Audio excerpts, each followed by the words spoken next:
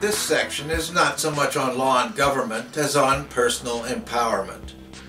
To this point, we have been gathering information on what our legal system is, on what our United States government is, and on how they have developed into the systems that we have today.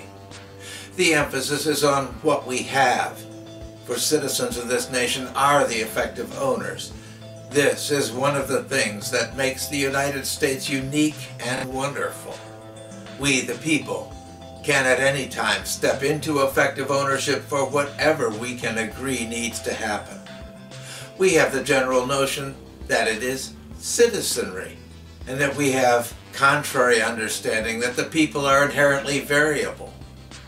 The owner is going to have to be identified before anyone is going to pay attention to what we the people say or do. We have to find identity as part of our empowerment. It is only as we are agreed that we the people actually have a voice. In one sense, we have official identity in who gets to establish and promote the potency of an elected officer. It is a question of a citizen's right to a voice in a specific leader. It is when those who have representatives are agreed that they have a potential voice in directing their representative to represent whatever they agree upon. This is not a fixed body of voters. As the signing of the Constitution, we the people were male adult citizens. This has changed. The answer is actually not fixed by our Constitution, nor by our laws on voting. It is the people, and it is who we agree to honor as citizens. That is the key to this concept. We are owners, and we own our nation, our government, and our legal system. We are the ones who decide when we are agreed, and those who are given public authority will answer our voice because we are the source of all political authority in the United States. That is the right of the sovereign citizen, the right of the owner to exercise ownership whenever and wherever we the people find reason to do so. And so we need a human rule when we can say that we as humans come to effective agreement.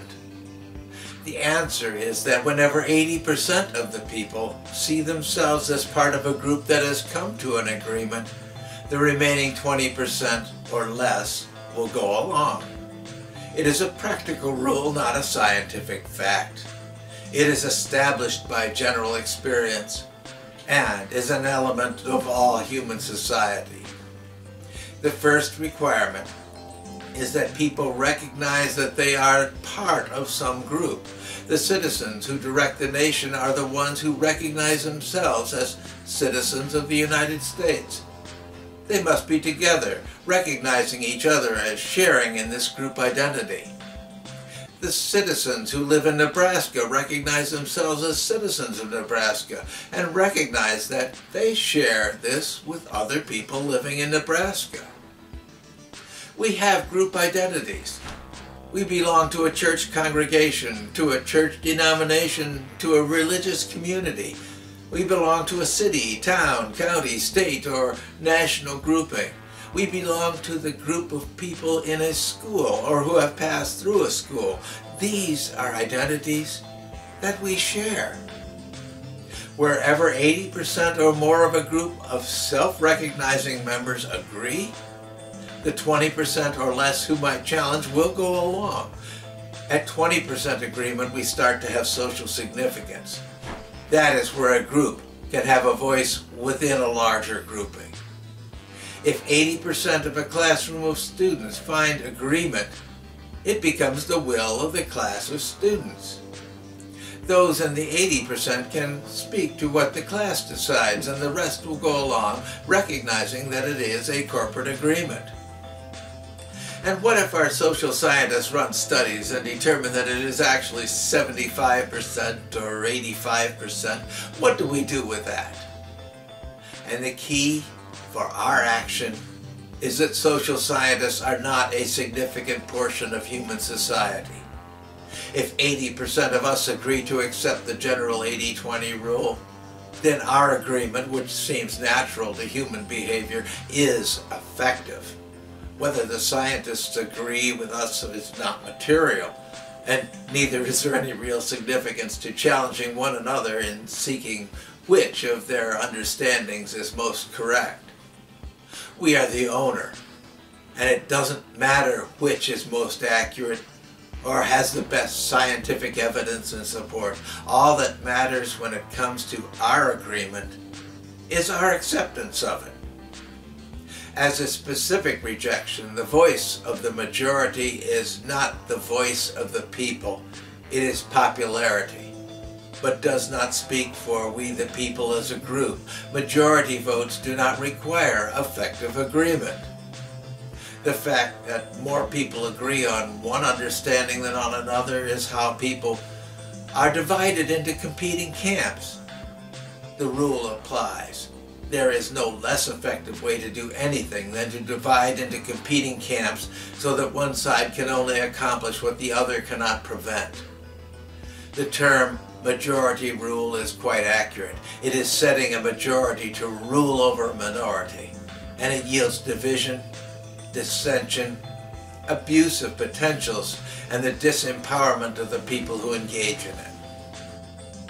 Majority is legally effective for doing things where a decision is required, even if not our action, as in the, which candidate will fill an office. It is not any expression of decision by we the people, it is an answer to which potential selection is more popular. The answer is that we, the people, are the real owner. Whenever we, as a group, decide to be the owner, we, the people, as agreed, will have no significant competition, but will be the only voice of the people.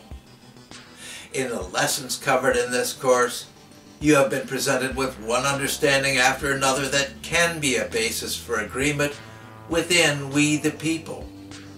These have intentionally addressed the three universal human values of personal freedom, personal prosperity, and support for the human family.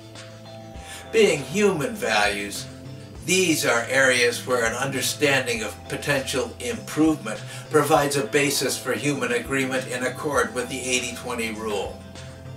In our discussion sessions, we have been developing our own sense of how to come to agreement we have been practicing empowerment in the local group of a class of students. We have been learning the fundamentals of honoring one another as part of the same well-defined group of people who accept one another as members of this class. You do not have to be a leader to be empowered. We only have to come to agreement where people are indeed agreed. Any failure to honor one another as a real member of this class would prevent that agreement. We are only empowered as we, as we accept one another. Even those who never say a word have their part in this class, and their agreement is also important as part of we the people. Here is the perspective that brings us together. You cannot be empowered without empowering each other. As long as you have this perspective, you will be able to see how those who promote division are the ones who lose power for everyone. The empowerment you observe, both for yourself and other class members, is the empowerment of coming together. And it doesn't matter one bit who it is that originates or develops the understanding that brings us to agreement only that we are agreed at a level where we can find the voice of the class. Empowerment is ongoing. You have just opened the door, not yet entering in. That comes from our knowledge of statistical sampling. This is a well-developed area within our business science. We are able to address any normal population statistically. What is true for a sample drawn from a larger group will indicate what is true for the larger group. The same sort of things that bring you to agreement will also draw others toward like agreement.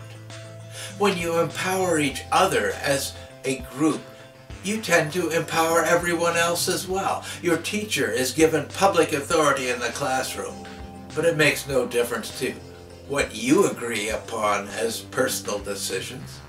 That is your empowerment, and it is likely to have potency even with those outside the classroom who share your understanding of needs and wants.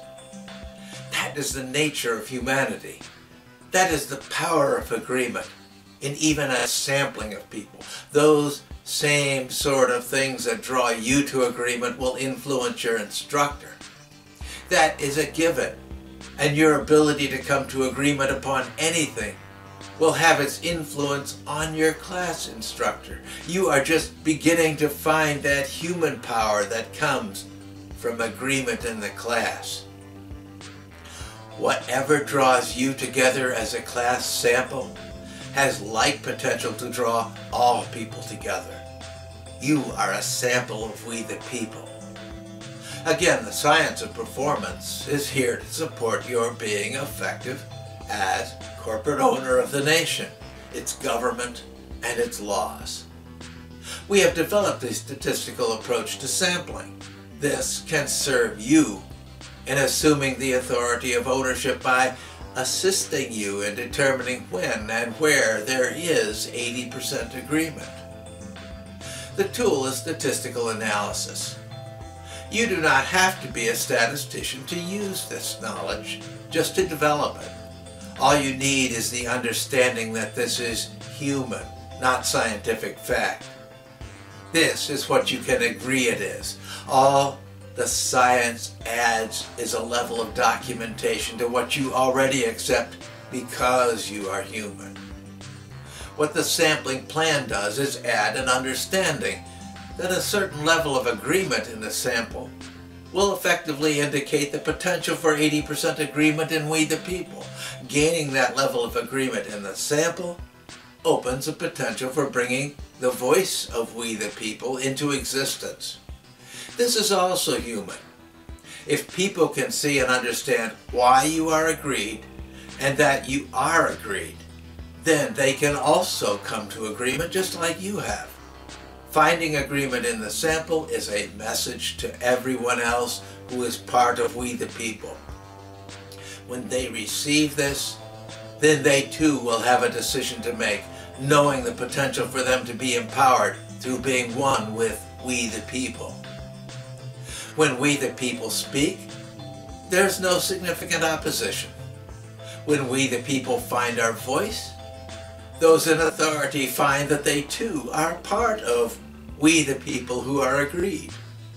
This course in law and government was prepared for your empowerment. It is not the source of the power, you are. You are the source of all power and authority. You and others in the class who find themselves together as representatives of we the people. You do not learn to be empowered. Your potency comes from discovering that citizens are already empowered. What you learn here is a few areas where that power and authority of we the people is likely to be found. Whenever and wherever 80% of a group of people come to agreement, the whole group is agreed.